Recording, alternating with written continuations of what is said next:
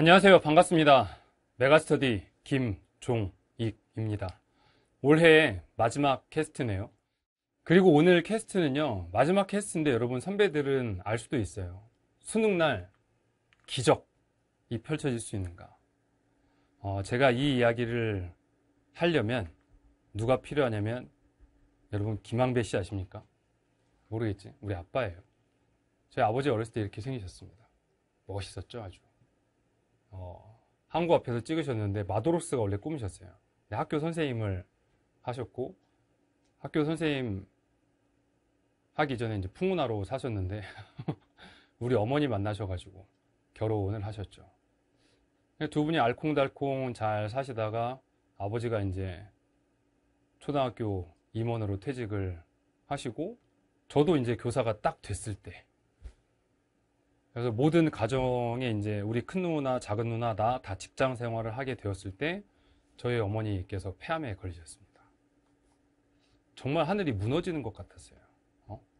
왜 이렇게 잘 될만 하면 뭔가 시련이 찾아오는지. 그래서 서울의 S병원에서 수술을 하셨고 생존 가능성을 30% 이야기하셨는데 하늘이 저희 기도를 들었는지 그 생존 가능성은 10년을 넘게 지속이 되었습니다. 그래서 저희 어머니는 10년간 암투병을 하시고 어, 2017년도 8월달 그때 이제 병원에 누워가지고 계속 이제 몰핀 주사 맞으면서 누워있다 보니까 욕창이 생겨서 허리 부분을 의사가 그냥 메스로 생사를 도려내는 그런 고통을 견디시면서 8월 3일 11시 45분 8월 2일이죠. 8월 2일 11시 45분에 눈을 감으셨습니다. 그때 제가 옆에 있었고 정말 그날은 너무 슬펐어요.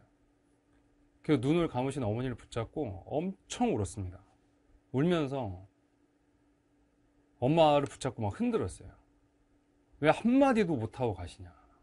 마지막에 말기암 환자가 말을 못하거든요. 당연히 고통 속에 으, 막 이런 거밖에. 어떻게 한마디도 안 하고 가냐. 어? 아들 여기 이렇게 와가지고 3일째 엄마 옆에 붙어 있는데 어떻게 아들한테 한마디도 안 하고 가냐라고 엄청 울었어요. 뒤에서 이제 가족들도 다 울고 있고 아빠 이제 그러지 말라고 이야기는 하고 있고 의사분들, 간호사분들 숙연한 가운데 제 울음소리만 그 공간을 가득 채우면서 엄마를 막 흔들었죠.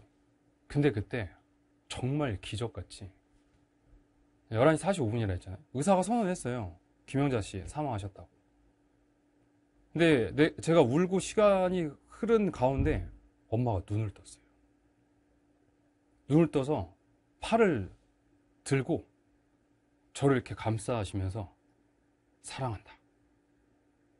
하고 돌아가셨습니다. 제가 진짜 울다가 깜짝 놀라가지고 이건 진짜 기적이에요. 기적. 그래서 어머니가 최초 사망 선언을 받으셨던 건 8월 1일 11시 45분인데 진짜 이제 마지막 사망 선언을 받으신 건 12시가 넘은 시간이었습니다. 그래서 어머니의 그 마지막 사랑한다는 이야기를 듣고 여전히 엄청 울었지만 어머니의 그 한마디에 눈물이 이제 닿고 장례식에 들어갔죠. 보통 저녁 11시 45분에 돌아가시면 호상이라 그래요. 호상. 왜냐하면 장례식은 3일을 하게 되는데 저녁에 돌아가시면 저녁에서 그 다음 12시 넘어갈 때 하루가 지나가거든요. 그럼 이제 자식들이 장례 치를 날이 그 다음날 하루만 치르면 되니까 부모님들이 자녀들을 위해 어, 호상으로 일찍 도 그러한 시간에 돌아가셨다. 근데 이제 제가 울고 어머니가 다시 일어나셔서 12시 5분경에 돌아가셨기 때문에 12시 15분경에 돌아가셨기 때문에 이제 저는 꽉 채운 3일의 상을 치렀던 거죠. 근데 그것도 너무나 기뻤습니다. 왜냐하면 장례식장에 경험해 보신 분도 있겠지만 나중에 여러분도 잘 기억하세요. 어머니 아버지가 돌아가시잖아요. 영정사진 밑에 앉아 있으면 그 엄마가 저한테 뭐라고 꼭 하는 것 같은 이야기가 들려요. 엄마의 목소리로. 그 자리가 얼마나 소중한지 모릅니다. 정말 손님들은 계속 찾아오고 두 다리가 끊어질 것 같이 아프더라도 그런 아픈 생각도 없이 그냥 거기 계속 앉아 있으면 엄마가 계속 부르고 있어요. 종이가, 종이가 이렇게. 그랬던 엄마의 영정사진은 차마 제대로 이 어리석었던 어렸던 종이가 준비를 못 해가지고. 너무 슬픈 이야기만 하니까. 어렸을 때 사진이 이게 펑키고 강의 때 이야기했던. 근데 어렸던 어리석었던 제가 어머니의 영정 사진을 제대로 준비를 못 해가지고 엄마 아빠를 멋지게 한번 스튜디오를 데리고 가서 사진을 찍은 적이 있거든요. 그때 그 사진이 기억이 나서 이 사진 이 부분을 사진관에 맡겨가지고 어, CG로 입혀가지고 정장을 입혀서 이게 어머니 영정 사진이 되었습니다. 저 사진 밑에서 종이가 종이가 부르는 목소리를 듣게 되었던 거죠. 정말 기적이었어요. 이런 기적이 세상엔 존재하는 것 같습니다. 제가 겪어보니. 그런데 여러분들에게 수능의 기적이라는 것이 공부 안 한 학생이 막 갑자기 수능날 잘 본다. 그런 기적이 아니라 정말 열심히 노력하고 열심히 쌓아온 너에게 그 수능의 그날 너한테도 이런 기적 같은 점수가 펼쳐지길 기원하고 기도하면서 이 캐스트를 찍게 됩니다.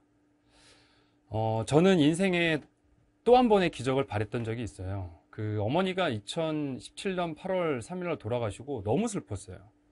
그리고 그 당시 EBS 강의하고 있을 때 누가 막 수강위에다가 님이 뒤졌다며 막 이런 수강위도 받아봤고 그리고 나서 바야흐로 시간이 흘러서 2018년 2월 저희 아버지께서는 성지순례를 가신다고 준비를 하셨고 여행을 길게 가게 되니까 병원에 다녀오셨는데 저한테 전화가 왔어요.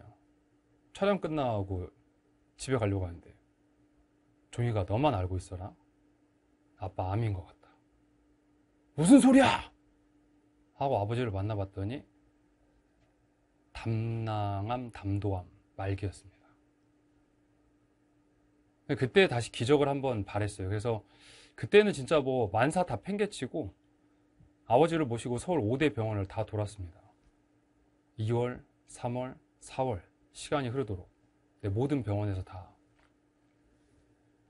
치료 불가를 선언하셨고 분당에 있었던 S 병원에서는 의사 선생님이 아버지를 안아줬어요. 아버지는 그때 이미 이제 포기를 하셨고 아버지께 그때 참 근데 마음 아프게도 그 당시 통과됐던 법이 뭐냐면 사전 연명 의료 의향서 작성법입니다. 그러니까 내가 나중에 너무 힘든 질병으로 고통받는 상황이 됐을 때 난 더 이상 이런 치료하지 않겠다라는 걸 사전에 선언할 수 있는 법이 통과가 됐어요. 그 10년간 투병하신 어머니를 보고 아빠는 선언한 거죠. 난 연명 치료 안 하겠다. 그래서 아버지는 본인이 원하는 거 하고 싶다 하셔가지고 아빠가 그럼 원하는 게 뭐야?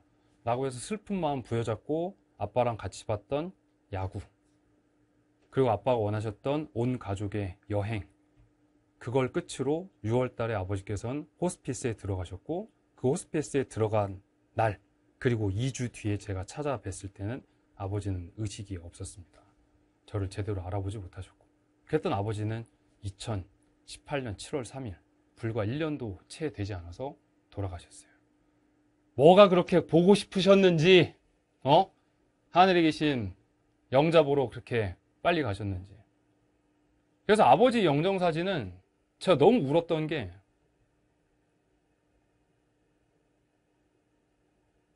아버지가 혼자 사진관 가서 찍으신 겁니다. 호스피스에 입원을 시켰을 때 어, 아버지가 저한테 조용히 이야기했어요. 종이가 아빠 엄마 살던 집에 가면 거실 서랍장에 책장 열면 아빠 영정 사진 있으니까 그걸로 장례 치르면 된다.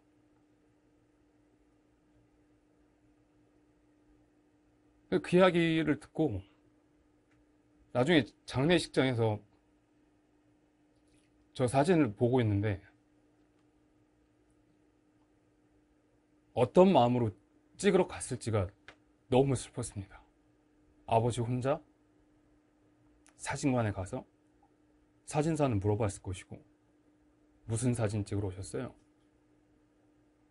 아빠 웃으면서 이야기했대요. 영정 사진이요. 에이 장난치지 마시고 찍어달라. 그래서 저렇게 웃으면서 찍으셨더라. 마음 아프게도. 그리고 아버지에게는 기적은 일어나지 않았습니다. 그런데 죄송합니다. 아버지 어머니가 저렇게 돌아가시고 저 이제 결단을 내려서 메가스터디에 오게 되었고 메가스터디 2019년도 오자마자 여러분들께서 많은 사랑해 주셨고 그 사랑 정말 많이 받아서 제가 이 위치에 올 수 있었던 것 그게 저는 또 하나의 기적인 것 같아요. 저런 사람이 어렸을 때부터 열심히 살아와서 어, 처음 교사가 되었을 때 그런 말을 한 적이 있어요. 어, 교사들 사이에서 김준 선생님 꿈이 뭐야? 어, 저 EBS 가서 강의할 거예요. 옆에서 누가 미친놈 이랬던 적도 있고 저 두고 보세요. 제가 나중에 대한민국 1타 될 거예요. 사- 어디에서든 그때 막 다들 웃었거든요. 아이들도 그랬고. 근데 와 있잖아요. 정말 저는 이게 기적이라는 생각이 듭니다. 하늘에 계신 아버지 어머니의 기도 덕분인 것도 같고. 근데 그 기적을 이뤘지만 안타까운 건 뭐냐면 제가 일부러 이 옷 입고 왔어요. 음, 좋은 옷을 입고 강의에 선다 한들 입혀드릴 수 없잖아요. 좋은 음식을 먹는다 한들 함께 할 수가 없습니다. 항상 어디 여행을 가면 한켠에 구석이 너무 아련해요. 마음 아프고 눈물 짓게 됩니다. 여러분들께서는 이런 후회 하지 않도록 그리고 지금껏 물론 저처럼 부모님 안 계신 분들도 있겠지만 지금껏 열심히 돌봐줬던 엄마 아빠를 위해서라도 수능 그날 최선을 다하시고 그렇게 최선을 다한 너에게 수능의 그날 기적이 찾아올 거라고 제가 꼭 기도하겠습니다. 여러분들의 사랑으로 제가 기적처럼 여기 서 있는 것처럼요. 그래서 수능의 그날 여러분 파이팅 하시고 정말 기적을 맛보는 여러분 되셨으면 좋겠습니다. 수능 끝나면 그래서 여러분들한테 하나 추천해 드릴 만한 일이 있어요. 뭐냐면 엄마 아빠랑 같이 사진 한번 찍어 보셨으면 좋을 것 같아요. 엄마 아빠한테 영정 사진 찍으러 가자 그런 거 하지 말고 엄마 아빠랑 가서 엄마 아빠 젊으실 때 지금 모습 좋으실 때 아름다운 사진 하나 잘 찍어 놓고 너만의 그 사진은 그래 나중에 엄마 아빠가 만약에 돌아가시게 된다면 난 이 사진을 영정사진으로 써야 되겠다. 라는 생각 한 번쯤 해보시면 어떨까. 좋은 추억 쌓는 그런 여러분 되었으면 좋겠습니다. 여러분 가는 길에 항상 꽃길 기적이 가득하길 바라면서 저의 2025년 올해 마지막 캐스트를 마무리하겠습니다. 정말 감사합니다 여러분. 여러분의 사랑 생각하며 저는 또 내년 준비하겠습니다. 감사합니다 여러분. 사랑합니다. 메가스터디 김종익입니다